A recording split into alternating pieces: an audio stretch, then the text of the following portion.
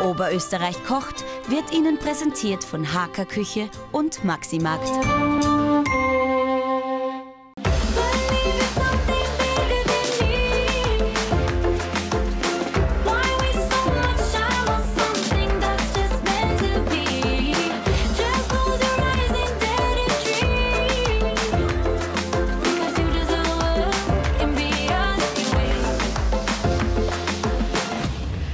Herzlich willkommen zu Oberösterreich kocht. Schön, dass Sie mit dabei sind. Ich darf Sie aus dem Hacker Küchenstudio begrüßen. Es kocht für Sie Christian Göttfried von Essen, Trinken, Schlafen Göttfried in der Linzer Altstadt. Was machen wir denn heute? Heute machen wir so Lamm-Tandoori-Spieße Ja. mit turnierte Champignons und so ein bisschen Gemüsesalat. Hey. Auf den richten wir das an. Gut, das heißt, wir haben die Grillsaison in der Küche eröffnet. Praktisch, genau. Wir haben die Feuerwehr dazu gepickt und fangen jetzt indoor zum Grillen an. Ja, los geht's. Was ist meine Aufgabe? Du kennst mir gleich praktisch direkt das für den Tandoori-Spieß, das Klass- also die klassische Würzzubereitung. Etwas Joghurt, Limette, Ingwer und Chili. Chili Ja. sehr fein bitte. Und ganz wenig von dem Kreuzkümmel dazu bitte. Sehr gerne. Und da marinieren wir gleich die wunderschönen Lammfilets, die wir übrigens von unserem Hobbykoch gekriegt haben. Ja. Wirklich. Einer unserer Zuschriftengewinner. Super Kocher. ja, hallo. Sehr sympathisch. Ich tue jetzt gleich mal die Champignons. Uh, was heißt trainieren? Das hast du mir ja versprochen, dass du Genau, sagst, wie das das heißt, wir geben die Champignons einfach nur eine andere Form. Schau. Und dann machen wir oben das Zupfer so runter. Geht natürlich relativ einfach, wenn man es kann. Wenn man es nicht kann, ist es ein bisschen schwieriger. Aber ich lasse da gerne über zum Probieren. Einen kannst du mal lassen, ja. Unbedingt. Und Turnieren heißt das, diese Arbeit oder ist Zuputzen Turnieren? Form geben heißt eigentlich Turnieren. Genau. Was kann ich nur alles turnieren? Ma- Zucchini, Karotten, Kartoffeln, sämtliches Gemüse, was ich schneiden lässt. Du, Tubieren kann man, die Haare.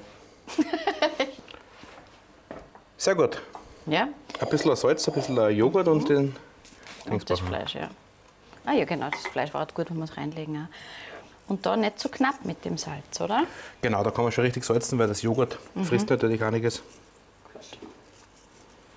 So, das haben wir da. Warum Tandoori, nach Tandoori-Art? Tandoori sind praktisch die Öfen in Indien. Ja? Das sind die großen Tonöfen, die bis zu 400 Grad heiß werden. Und da tut man die Spieße, stecken die dort rein. Und Tandoori Art ist praktisch das mit dem, mit dem marinierten Fleisch. Das wird mit Joghurt, Salz, Chili und Ingwer dort mariniert. Etwas Limette müssen wir dann noch dazu tun. Und deswegen Grund weiß ich nicht genau, vielleicht, dass die Flügel am Fleisch sind. Nein, Schmarrn. Die Limette? Oder? Ich lasse da dann gerne noch eine über. Ja, bitte, unbedingt. Das Gute, wenn man so Limette mit der Hand ausdrückt, dann werden die Finger so schön sauber. Ist das schon mal aufgefallen? Das ist mir sehr wohl schon aufgefallen, Okay. ja. Aber ich habe es auch gleich am Arm, ganzen Arm, deswegen ich muss mich Sonntag Hast du nicht mehr im so ein Bad bisschen- anlegen. Nein? Okay, schau, da geben wir wirklich ganz Ja, ein kleines Kreuzkümmel. Hauchel, Kreuzkümmel. Praktisch gerade, dass es nicht schmeckt. Und das lassen wir jetzt einfach ziehen. Das lassen wir jetzt so ganz kurz ziehen. Mhm. In der Zwischenzeit schneiden wir uns unser Gemüse einfach recht, dass wir so schöne Spieße uns herrichten. Das mache ich auch ganz gern für dich. Ich mag nur schauen, Aber jetzt ob, geht's ich, los. ob jetzt pass mal auf. Jetzt warte mal da. So in der Mitte ansetzen, hast du gesagt. Ah ja, mhm. Genau. das war schon mal sehr gut. Am Anfang muss man mal so flach runterschneiden. Ja, sehr gut, sehr gut, sehr gut. Gehen wir da langsam in die Mhm. richtige Richtung mit dem. Schau gleich mal, ob wir Pflaster da haben. Du kannst ruhig weitermachen. Ja, du, es ist kein Sternekoch vom Himmel gefallen und ich muss den sehr Nein, zeigen, sicher, dass nein. das was Weltliches ist, was wir da Sterneküche und Himmel passt halt einfach nicht. Ich hab's eh schon mal gesagt. Alle Sterneküche sind artig. Ja? Bösartig, Abartig. abartig. Ja. abartig. So, etwas Salz tue ich jetzt in meine. Na, den. Champignon habe ich ja ordentlich vergagelt, ich sag's wie es ist. Aber man muss das üben, oder? Man, du könntest zum Beispiel anfangen zum Üben, das ist eine ganz leichte Übung. Schneiden so, Paprika, Silvia und selber. Nein, gar nicht. Weißt du, so, du kannst da so einen Kartoffel nehmen für so einen Kartoffeldruck und da. Oh, gemein. Ja, aber ich werde das üben und dann kann ich es. Ist das Mal. Aber jetzt ist ein schönes, Gesch- so schaut ein schön geschältes schon. Okay. Ein. Traum. Darf ich dann den Paprika schneiden? Weil die markieren nur, dass wir wissen, was für einer das einer gewesen ist. Der mit dem Stern ist einer schon. Sterneküche. Sterneküche, Silvia Schneider. Na bitte. Das gießen wir auf mit ein bisschen Weißwein. und lassen wir einfach da schmoren. Die ganzen Abschnitte, was die überbleiben Ja. praktisch, die nehme ich dann gleich her und richten wir sich so ein bisschen ein Gemüse her, Okay, das wir dann da zu unserem Salat dazugeben. Ha, es geht schon richtig los. geht's gut los. Ähm, darf ich dir da so Quadrate schneiden oder? Genau, so Quadrate, dass wir ungefähr gleich groß sind wie das Fleisch, damit sich alles gleich brät, bitte. Gut. Sehr gerne. Ich beginne da mit ein bisschen Olivenöl. Dazu gebe ich dazu ein bisschen Knoblauch schon.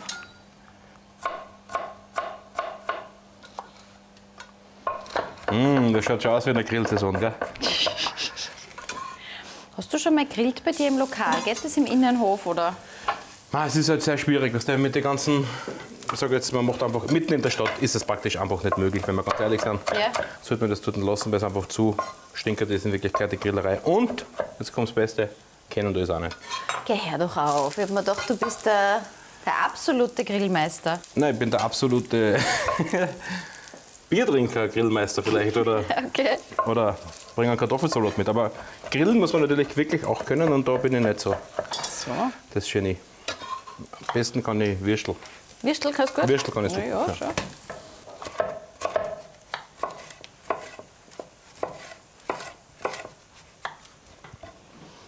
Das geben wir jetzt natürlich da alles, was an Paprika noch rot ist, geben wir da ganz normal dazu. Die Abschnitte von den Champignons machen wir auch da dazu. Und das ist dann quasi die Fülle, oder wie? Ja, die Fülle oder mit Weiß. Link ist praktisch dann so Drauf. ein bisschen drauf, genau. Du, da sind nur so Zwiebeln, ich mache da, da so einzelne Zwiebelstücke. Ist das in deinem Sinn? Ne? Ja, perfekt. Wie gesagt, und die ganzen Abschnitte kannst du alles zu mir hergeben. Mhm, da lege ich das immer brav her. Wie der Alfred Biolek immer gesagt hat, sein Bioloch. Kennst du das? Nein. Nein, geht nicht. Da bist du glaube ich. Waren die ersten Kochsendungen, glaube ich. Ja, der. Biolek sagt mir schon was. Okay. Und der hat immer, wenn er gekocht hat, hat er in der Mitte so ein großes Loch gehabt, wo die ganzen Abschnitte reingekommen sind. Ja. Das war das Bioloch. Ernsthaft. Herrlich. So, das tun wir da rein, schau her. Das ist da. Hast du von den Zwiebeln auch ein bisschen was über für mich? Ja, schon. Ja, perfekt. Das ist ja Wahnsinn, was da noch alles gibt. Das, ist ja im Bioloch. ja, genau. Im. Bioloch geht nichts verloren. Ich würde dir jetzt auch, was darf ich noch machen? Dürfte ich die, den Salat marinieren oder noch nicht? Oder das Fleisch Du kannst das Fleisch schon schneiden, genau. Neun Stickerl wären super, dass wir immer so drei auf einen Spieß aufhören können. Jawohl. Jetzt warte mal, dann wird das jetzt das Gemüsebrett, das ordentliche. Achso, das richtige Gemüse, das würde ich fast deine ganzen Sachen schon zusammenzuppeln. Okay. Neunmal.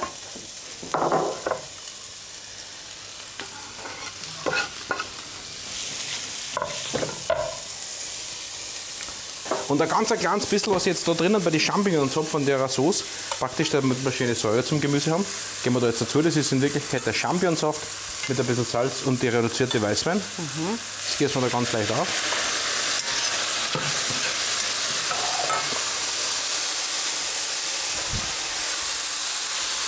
Ja, grillen, haben wir gesagt. Das, macht er weder natürlich. Also steht Magistrat gleich vor der Tür. Ja.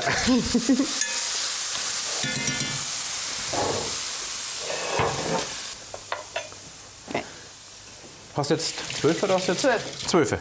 Super. Dann, Und jetzt mache ich es dir gleich. gut. Sagen wir halt gemeinsamer Spießer. Macher, Spieß, mach. Das sind zwei Spießer. Zwei enorme Spießer. So. so überhaupt mit Joghurt eingelegt habe ich, glaube ich, noch nie gegrillt. Wirklich? Okay. Nein. Wirklich? Ja. Genau, das Joghurt steht nach unten, weil das gibt auch so einen guten Geschmack. Du hast gesagt, ich soll das da so schön auseinander tun. Ja, Passt super, genau. Das? Herrlich. Dann kannst du mal die ersten zwei, du kannst schon Olivenöl in die Pfanne reinschmeißen. Mhm, gerne. Und die ersten zwei legen wir ein und die schicken wir wieder Teufel, dass wir die fertig kriegen. Ja. Die Pfanne. Und die Zuspeise ist alles schon fertig. Praktisch, ja. Das ist ja toll. Das ist das Schöne beim Grillen. Was? Da ist alles rundherum fertig, dann legt man Würstel auf und sagt so. Los geht's. Ich hoffe, es melden sich jetzt sehr viele Leute, die den Christian einladen wollen zum Grillen. Ja, bitte. Wir schmeißen unsere Spieße in die Pfanne und sobald wir die zum allerersten Mal umdrehen, sind wir zurück nach einer ganz, ganz kurzen Pause. Bleiben Sie einfach dran.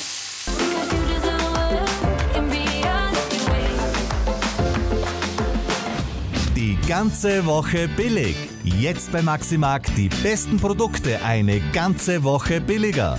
25% auf alle Süßwaren und Knabberartikel. Zum Beispiel Kellys Chips, Pombeer oder Soletti Salzstangerl.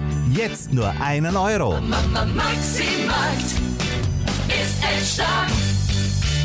Gerhard Hackel. Meine Mama sagt immer, es gibt nichts Blöderes als warten. Stimmt. Deswegen gibt es die Hackerküche maßgetischlert in neun Tagen. Meinst du nicht in neun Wochen oder neun Monaten? Nein, in neun Tagen. Jetzt bei Hacker und den Hacker Markenpartnern in ganz Österreich maßgetischlerte Küchen in neun Tagen. Gleich geht's weiter mit Gmundner Milch. Im Original Gmundner Keramikdesign. Oberösterreich kocht wird Ihnen präsentiert von Haker Küche und Maximarkt.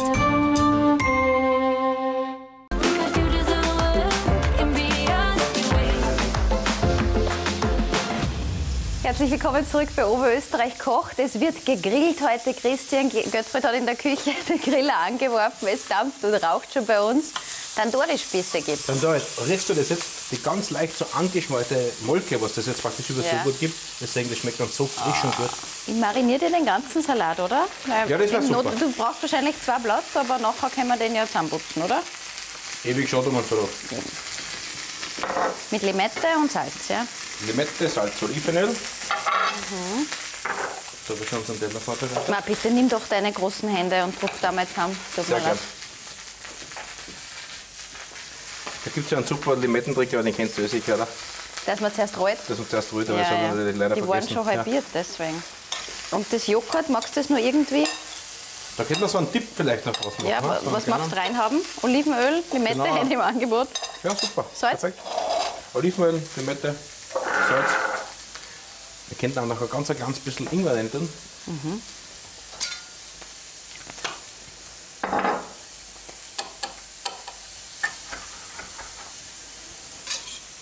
bisschen besser, was geht das schon? So.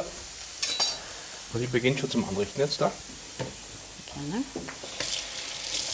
Erst, das war jetzt aber sehr schnell. Beim Grillen im Freien muss man oft länger warten auf seine Gerichte.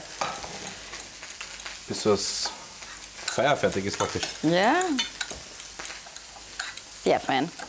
Ja, und in der kurzen Pause, wo das Gericht für Sie zubereitet wird, gibt es etwas zu gewinnen und zwar einen 50-Euro-Gutschein vom Maximarkt. Schicken Sie uns eine E-Mail oder schreiben Sie eine Postkarte, warum gerade Sie diesen Gutschein gerne hätten. Kleine Spieße, und ich fische mir sie jetzt aus, dass die nicht zu durch werden. Da. Ja.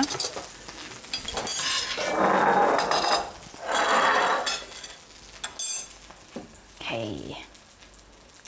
Kannst ein ganz bisschen was von dem Joghurt geben dann noch drauf. Ah, das ist gut.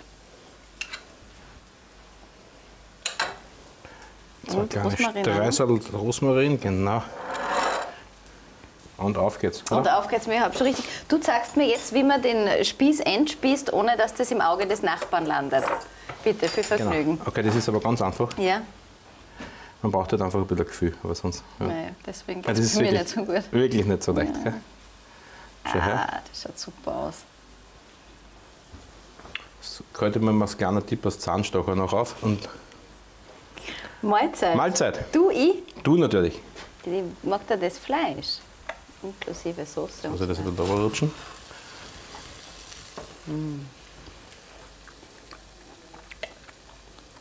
Jetzt schauen wir gleich, was das Lampern kann, gell? vom Fachkollegen. So ein gutes Lamm. Nämlich Sehr fein. richtig gutes Lamm. Das Gemüse ist natürlich. Mm. Wow. Und die leichte Sommerküche geht weiter, gell? Perfekt. Ja. Ich freue mich auf viele neue Rezepte dann von dir, die uns dann noch quasi in den Herbst auch noch begleiten. Bleibt so leicht. Ja, natürlich, es bleibt so leicht, das passt ja zu mir. In dem Sinne wünschen wir Ihnen viel Vergnügen beim Nachkochen, gutes Gelingen in der Küche. Und das letzte Wort hat der Christian. Mahlzeit. Yes, das ist gut geworden.